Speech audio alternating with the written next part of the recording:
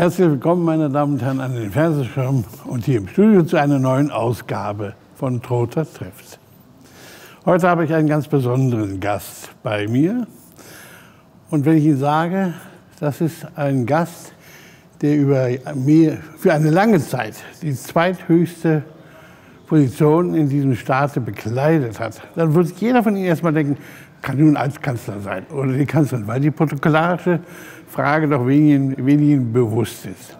Es ist aber eben der Bundestagspräsident oder auch Präsidentin, die die zweithöchste Position in diesem Staate bekleidet. Und jetzt werden viele von Ihnen, von Ihnen wissen, wer das sein kann.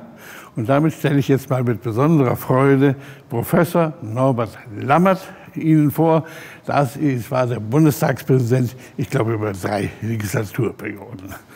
Und ich glaube, jedermann irgendwie bekannt geworden. Äh, Herr Professor, äh, Sie sind ja, ich habe mich natürlich ein bisschen informiert, in Bochum, in Ihrer Heimatstadt aufgewachsen.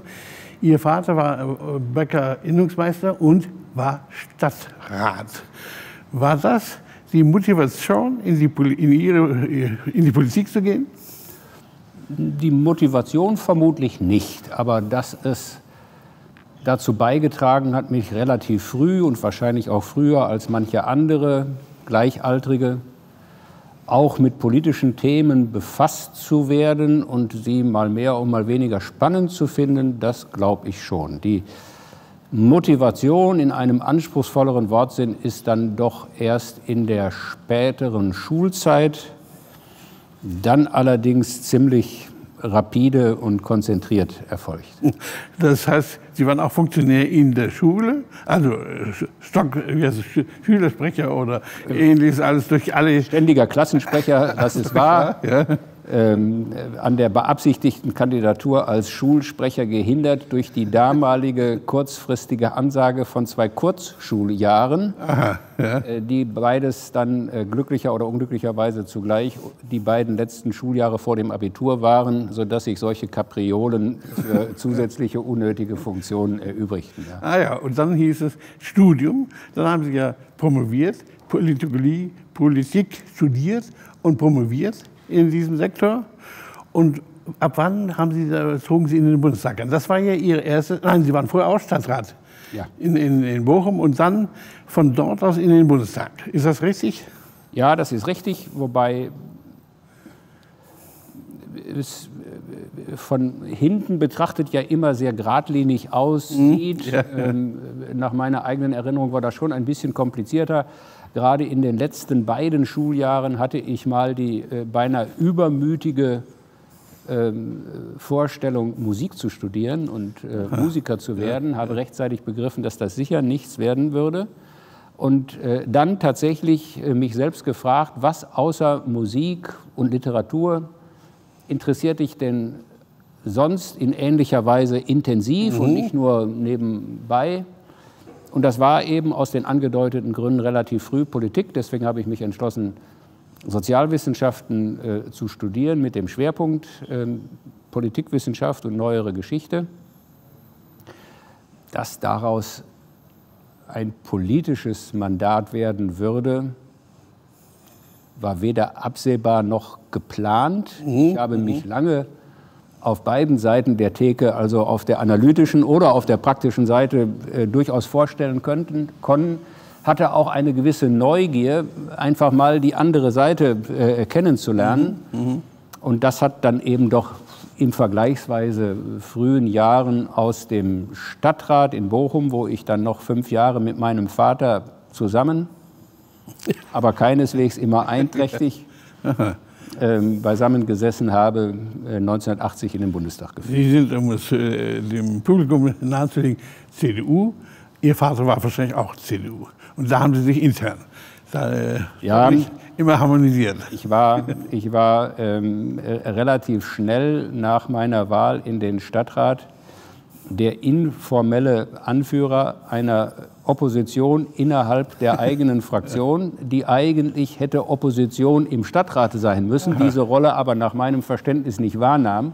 Mhm. Und ähm, das deutet auch den Konflikt an, den ich dann mit meinem Vater und der Mehrheit der Fraktion in dieser Zeit mhm doch ziemlich regelmäßig hatte, sodass die Freude über meine Wahl in den Deutschen Bundestag nirgends größer war als in der eigenen Ratsfraktion.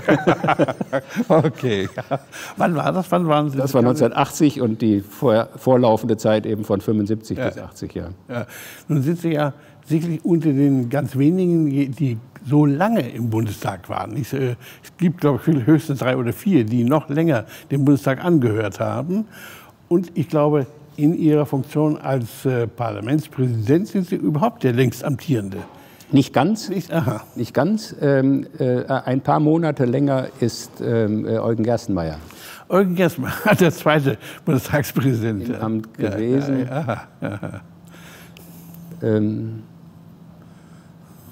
eines der vielen Beispiele dafür, dass es am Ende doch weniger darauf ankommt, wie lange jemand mhm. ein Amt wahrgenommen hat, sondern wie vom Anfang bis zum Ende diese Amtszeit wahrgenommen wird und in Erinnerung bleibt. Ja, ja.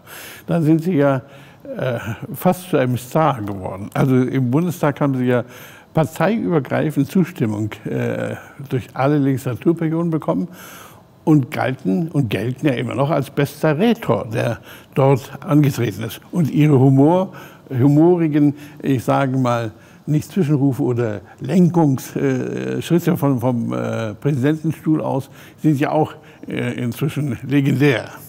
Was hat Ihnen am meisten Spaß gemacht als Präsident?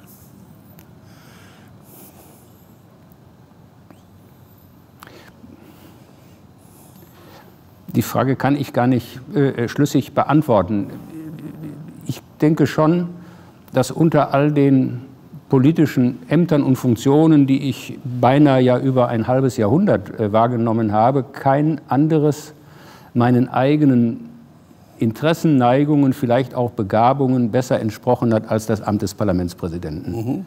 Insofern ist mir die Wahrnehmung der damit verbundenen Aufgaben leicht gefallen und ich habe sie in aller Regel, wenn auch nicht ausnahmslos, gerne und gelegentlich auch mit Vergnügen wahrgenommen. Aber das ist jetzt prinzipiell heftige Plenardebatten oder zähe Ältestenratssitzungen oder öffentliche protokollarische Auftritte im In- oder Ausland wären, die mir in Anführungszeichen am meisten mhm. Spaß gemacht hätten.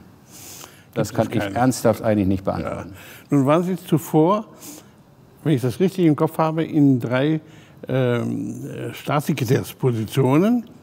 Die waren ja sehr unterschiedlich gelagert. Da gibt es da eine Priorität, was Ihnen da. Ja, eigentlich auch weniger mit Blick auf die Ministerien als auf damit direkt oder indirekt verbundene Sonderaufgaben. Äh, ich wurde ja zunächst von Helmut Kohl 1989 zu meiner eigenen Überraschung und auch mit begrenzter Begeisterung in das Bundesministerium für Bildung und Wissenschaft berufen, ähm, wurde dann anschließend ähm, äh, parlamentarischer Staatssekretär ins, im Bundeswirtschaftsministerium, wo ich gerne gleich mhm. ähm, äh, angefangen hätte. Und mit dieser Funktion war dann nicht zwingend, aber einer inzwischen bestehenden Übung folgend das Amt des Koordinators der Bundesregierung für Luft- und Raumfahrt verbunden. Mhm. Mhm. Dafür hatte ich, äh, salopp formuliert, eigentlich keine fachlichen Voraussetzungen. Vielleicht aber auch gerade deshalb hat es mir tatsächlich sehr viel mhm. ähm, äh, Freude gemacht, vor allen Dingen, wenn man sich durch diesen offensichtlichen Mangel an fachlicher mhm. Vorprägung auch gar nicht erst in der Versuchung befindet, mit den kompetenten Ingenieuren, Technikern, Managern, Flughafenchefs und anderen äh, ausgewiesenen Experten konkurrieren zu wollen, sondern sich auf das zu konzentrieren, was tatsächlich auch die Jobbeschreibung war, nämlich den Einfluss der Politik auf diese Branche mhm, zu koordinieren. Und die findet ja, dieser Einfluss findet ja statt über Forschungsministerium, über Finanzministerium, über Verteidigungsministerium, Bundeswehr, mhm. Verkehrsministerium mit der Zuständigkeit für Flughäfen. Also das ist eine Aufgabe, die mir damals tatsächlich viel Freude gemacht hat, auch wenn ich den größten Niederschlag meiner Laufbahn nie vergessen werde, mhm. dass nämlich am Abend meiner Ernennung mein damals, glaube ich, 16 Welcher oder 17, der ersten Ernennung? Zum Koordinator der Bundesregierung Aha. für Luft- und Raumfahrt, ja. mhm. was ein paar Monate nach der Entsendung ins Wirtschaftsministerium mhm. durch Kabinettsbeschluss erfolgt ist. Mein damals 16- oder 17-jähriger Sohn, der aus mir unerfindlichen Gründen von Kindesbeinen an ähm, in alles, was fliegt, vernarrt war, äh, mir erklärte, nun wisse er, was er von dieser Regierung zu halten habe der Einzige in der Familie, der nachweislich keine Ahnung von diesen Geräten habe, der bekomme diesen Job. Wie konnten Sie sich dem massiven Vorwurf erwehren? Gar nicht. Ja, gar nicht ja. Äh, ich äh, hoffe, dass ich im Laufe der Amtszeit doch überzeugt bleiben. Ja. ja, die massiven Bedenken halbwegs habe ausräumen können. Wenn wir kurz die Familie mal beleuchten, Sie haben ja zwei eigene Kinder und zwei adoptierte Kinder und eine Lehrerin als Ehefrau. Ähm, nun sind Sie ja quasi äh, von Anfang an einer, einer Familiengeschehens fast nie zu Hause, weil Sie immer im Mandat waren. Oder äh, hat das in irgendeiner Form in der Familie Konsequenzen gehabt, dass Sie sagen, meine Kinder haben mich zu wenig gesehen, haben sich beklagt oder äh, meine Frau beklagt Sie noch heute? oder? Naja, also meine Frau hat mit, mit einer zulässigen Übertreibung sich in entsprechenden Situationen gerne als alleinerziehende Mutter äh, äh, vorgestellt. Das kann man ihr jedenfalls nicht äh, verübeln, äh, weil es war mit Blick auf die Rechtslage falsch, mit Blick auf die tatsächliche Aufgabenverteilung aber realitätsnah äh, war. Ob den Kindern das geschadet hat, kann ich natürlich nicht beurteilen äh, widerstehe jetzt auch tapfer der Versuchung, das genaue Gegenteil zu behaupten. Sie hätten davon enorm profitiert. Also ich glaube, dass äh, halt jede Konstellation ihre, ihre Vorzüge und ihre Nachteile äh, hat. Ich war ja auch nicht auf einem anderen Planeten. Und äh, nachträglich empfinde ich es als Begünstigung meiner Biografie, dass die ersten 20 Jahre meiner äh, Zugehörigkeit zum Deutschen Bundestag in Bonn stattgefunden mhm. haben. Und damit bei einem Parlamentssitz, den ich jeden Tag durch Pendeln erreichen konnte. Und ich bin tatsächlich auch 18 mhm. Jahre zwischen Bochum und Bonn täglich hin und her gependelt, sodass man in den Jahren, in denen eben die Kinder aufwuchsen, mhm. nicht nur die berüchtigten Wochenendbesuche absolvierte, die ja dann auch noch mal durch Parteitage, Gewerkschaftskongresse, Jubiläumsveranstaltungen aller Art belegt sind, ja. zusätzlich ja, belegt sind. Ja, Nun haben Sie gerade äh, Bonn und äh, Ihre Nähe Bonn-Bochum angesprochen. Äh, es regt sich dann der Verdacht, dass Ihre Entscheidung, die Sie ja damals machten für Bonn statt Berlin als Regierungshauptstadt, aus dieser subjektiven Sicht begründet war oder gibt es da doch sicherlich noch rational von Ihnen intensiver empfundene politische Gründe?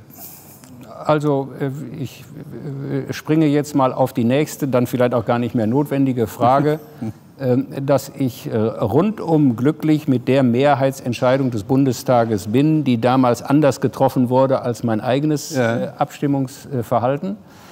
Aber die beiden Gründe, die ich damals hatte, um für die Beibehaltung von Bonn als ähm, äh, Sitz der Verfassungsinstitutionen äh, zu stimmen, halte ich nach wie vor für vorzeigbar, auch wenn sich die Befürchtungen glücklicherweise nicht bestätigt haben. Mhm.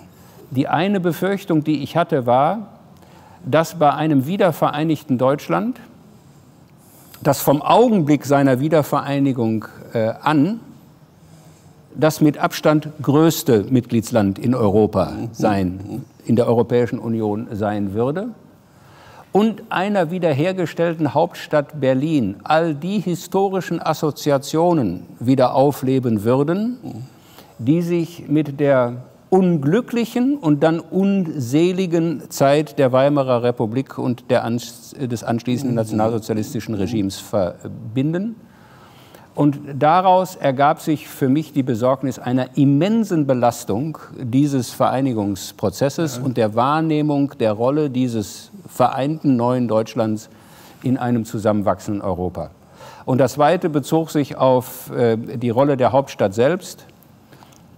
Bonn war eine übersichtliche, mittelgroße Residenzstadt am Rhein, die mit den großen Metropolhauptstädten in Europa weder konkurrieren konnte noch konkurrieren wollte. Niemand wäre auf die Idee gekommen, Bonn für einen Konkurrenten von London oder Paris oder Rom oder Madrid zu halten. Für Berlin war klar, dass es sofort sich in genau dieser Wettbewerbslage befindet.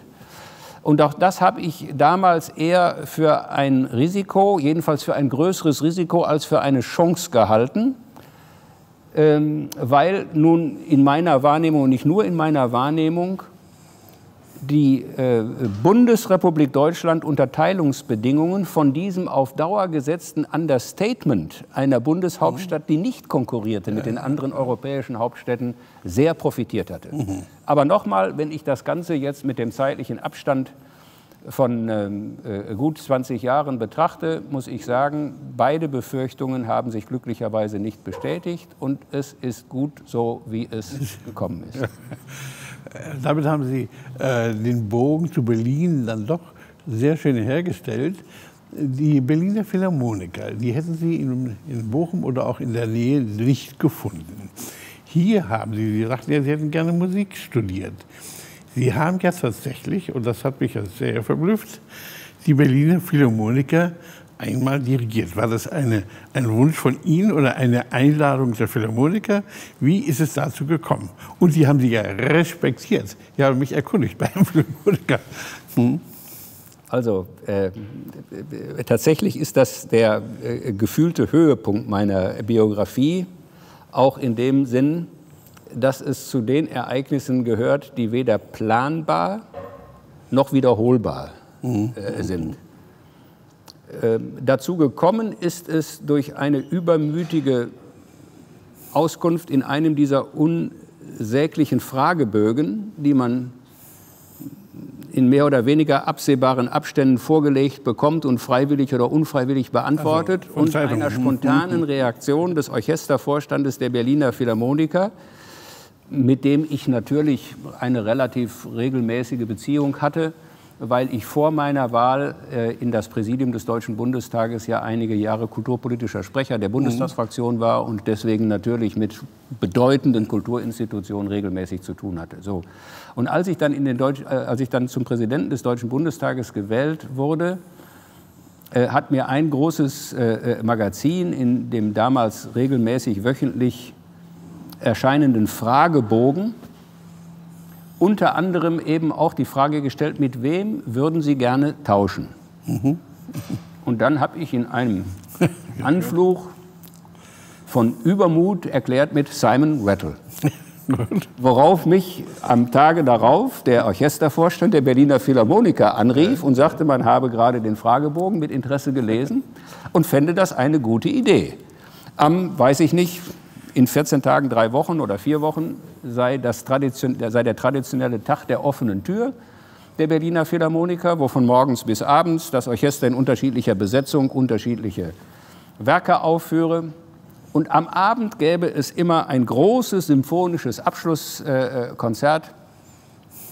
Und da habe man mal überlegt, ob die Zugabe, die dann absehbar immer fällig würde, mhm. nicht statt vom Chefdirigenten von mir dirigiert werden könnte. So. Und ich habe mit dem damals beinahe noch jugendlichen Leichtsinn sofort zugesagt, was wiederum bei Rückmeldung bei meiner Frau dazu geführt hat, dass sie mich spontan in eine geschlossene Anstalt einweisen lassen wollte, mhm. ohne mich auch zunächst nur mit der Frage beschäftigt zu haben, was da eigentlich mhm. dann äh, vielleicht hätte dirigiert werden können oder sollen. Na gut, ich kürze das jetzt mal ab. Am Ende ist das jedenfalls ohne nachhaltige Rufschädigung für die Philharmoniker. Nein, ich weiß, äh, da Sie zu sehr ich weiß, dass die Philharmoniker Sie sehr akzeptiert haben.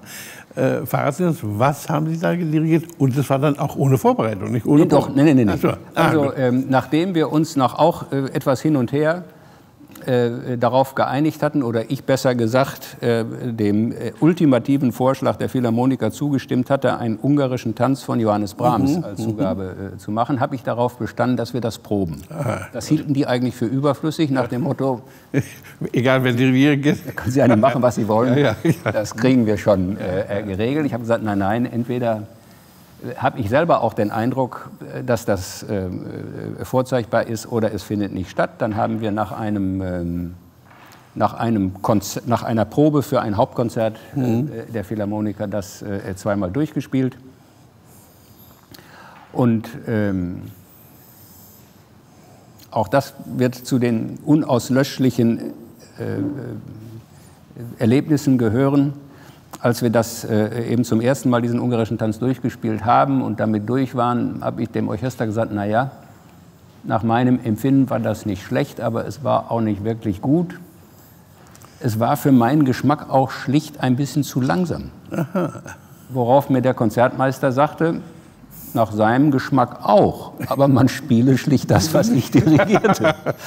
So, und dann haben wir noch mal eine Passage daraus äh, äh, uns ein zweites Mal vorgenommen. Und das hat offenkundig den Erfolg dann am Abend befördert. Aber Ihnen auch keine Träne gekostet zu sagen, ich hätte doch das mal machen sollen oder sowas. diese, diese musikalische oder die dirigistische Laufbahn oder sowas. Will einer Ihrer Kinder irgendwie in die Politik oder in die Musik? Nein. Nirgendwo, ja. Hm.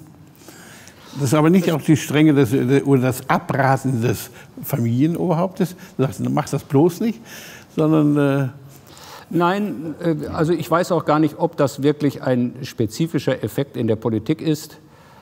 Ähm, ich glaube, dass jedenfalls besonders anspruchsvolle Berufe mit einer untypischen zeitlichen Inanspruchnahme, mit einer untypischen Inanspruchnahme von Wochenenden, also all dem, was man sich üblicherweise so auch als Familienleben vorstellt, auf die Kinder eine eher abschreckende als motivierende Wirkung haben. Und dass das eher dann zu der Orientierung wird, das mache ich ganz sicher äh, nicht. Was jedenfalls mit Blick auf den eigenen Beruf äh, prompt genau diese Folge hatte. Während eine vergleichbar abschreckende Wirkung des Lehrerberufs meiner Frau nicht in gleicher Weise flächendeckend zu beobachten ist, denn eine unserer also Töchter also ist, Lehrerin geworden, ist prompt in Aha. dieser Profession gefolgt. Ja. Ähm, nun müsste man ja meinen, nach so einem langen Politikerleben sehnen Sie sich auch nach dem Ruhestand. Äh, also äh, mit Abschluss des Präsidentenamtes, was kann man mehr noch in diesem Staat erreichen? Aber nein, Sie sind in einen Sie fast noch stärker fordernden, zeitlich fordernden äh, Job hineingegangen als äh, Präsident heißt es, glaube ich, der Adenauer Stiftung. Äh, was hat Sie da bewogen, da in dieses äh, Metier nochmal einzusteigen und das ja unendlich viel Zeit kostet? Ja, um beim letzten Punkt anzufangen, das habe ich aber stärker in der Hand. Also mhm. äh, äh, faktisch in den jetzt drei Jahren, in denen ich das wahrnehme, hat sich mein Terminkalender tatsächlich äh, nicht wirklich verändert. Oder besser, er hat sich zwar verändert, aber im Volumen ist er nicht kleiner geworden. Mhm. Aber im Unterschied zu einem, einem Hauptamt wie dem äh, oder denen, die ich äh, viele Jahre und Jahrzehnte wahrgenommen habe, in denen sich aus der Funktion zwingend die Beteiligung an Veranstaltungen, Gremien, mhm. Sitzungen äh, aller Art und Verpflichtungen unterschiedlichsten Kalibers ergibt, ist die Funktion des Vorsitzenden, jedenfalls der Adenauer Stiftung, ein Ehrenamt, bei denen bei dem ich insofern das Ausmaß der eigenen Inanspruchnahme doch sehr viel stärker in der Hand habe. Und solange ich mich geistig und körperlich äh, gesund fühle, macht es mir natürlich auch Freude, ähm, an den Projekten äh, ihrer Entwicklung, ihrer Umsetzung, ihrer Vermittlung ähm, äh, mitzuwirken, die wir in der Planung und in der Umsetzung haben. Und was mich zugegebenermaßen auch äh, selber motiviert hat, nach der Beendigung der aktiven politischen Laufbahn diese Funktion zu übernehmen, ist die deutlich stärkere Konzentration auf Grundsatzfragen. Also eine politische Stiftung muss sich nicht mit jeder Tagesaktualität, kann sich im Übrigen auch gar nicht mit jeder Tagesaktualität befassen, schon da nicht mit dem Anspruch auf Gründlichkeit und auf Konsequenz, die eigentlich äh, solche Stiftungsprojekte kennzeichnen muss.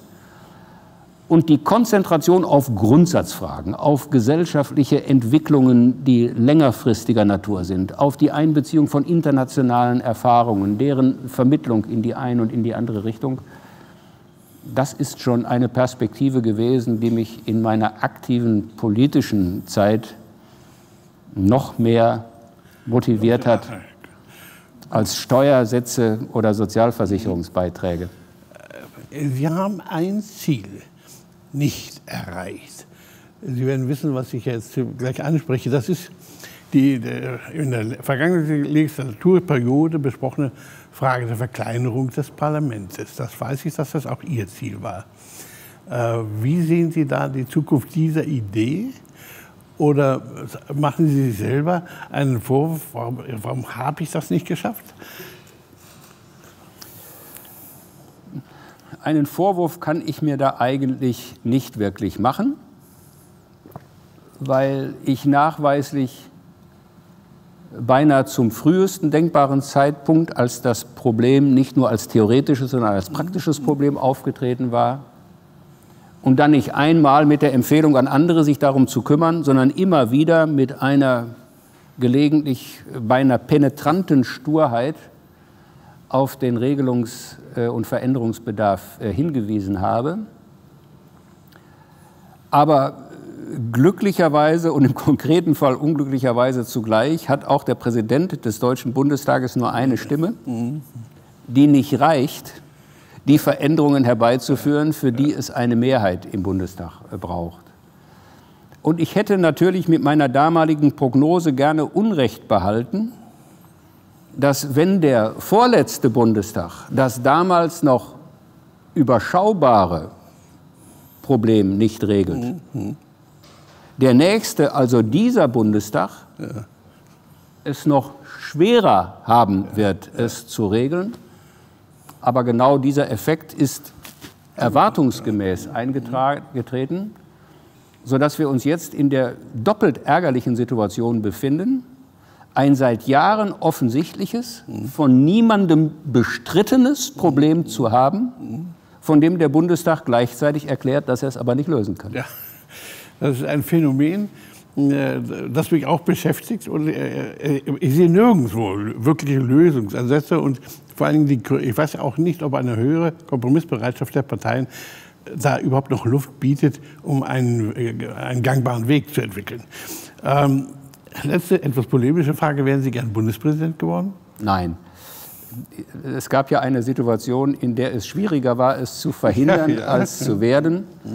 Auch das, oder jedenfalls das, gehört zu den sorgfältig durchdachten Entscheidungen. Ich bin auch heute fest davon überzeugt, dass ich für das Amt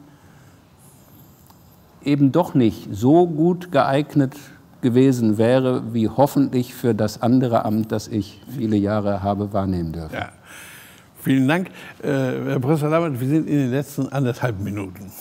Ähm, das war ein, ein kleiner Ritt durch Ihre Vita und äh, mit äh, ein bisschen unterfüttert mit äh, Ihren äh, privaten und politischen Bemerkungen. Äh, was wünschen Sie sich jetzt noch von Ihrer persönlichen Zukunft, vielleicht mit einem Satz? Ja, ich wünsche mir natürlich, dass ich möglichst lange noch im äh, Besitz meiner geistigen und körperlichen Kräfte äh, bleibe und ähm, für das, was mich interessiert, eben auch die notwendige Verfassung mhm. habe. Kann ich nur sagen, okay, ich, ich wünsche, dass es genau so läuft für Sie. äh, ich bedanke mich sehr, dass Sie die Zeit äh, sich genommen haben, trotz Ihrer Aufgaben. Und das ist ja, was man jetzt im Vordergrund hat, ist ja nur ein Bruchteil von dem, an wo Sie überall beteiligt sind. Das, man staunt ja, in welchen Organen, Vereinen, Verbänden überall der Name Lammert auftritt. Dass Sie Zeit haben, sich Zeit genommen haben hier für die Sendung, finde ich sehr gut und bedanke mich sehr und wünsche Ihnen einfach für Ihren weiteren Weg diese, vielleicht ein bisschen mehr Muße, das bin ich wahrscheinlich im Konzert mit Ihrer Frau, ein bisschen mehr Muße, aber die Kraft und die, und die äh, Zielstrebigkeit, mit der Sie Ihre Ziele verfolgt haben, dass Ihnen das auch weiterhin so gelingt. Vielen Dank, dass Sie da waren und schönen Gruß an die Familie, dass wir auch diese halbe Stunde der Familie geraubt haben. Ja, ich bedanke mich für die Einladung. Meine Damen und Herren, das war mal eine, eine politisch orientierte Sendung. Anderes läuft wieder ganz privat ab oder andere, mit anderer Thematik. Vielen Dank, dass Sie hier zugeschaut haben und bleiben Sie der Sendung bitte treu. Vielen Dank. Und Ihnen auch nochmal vielen Dank.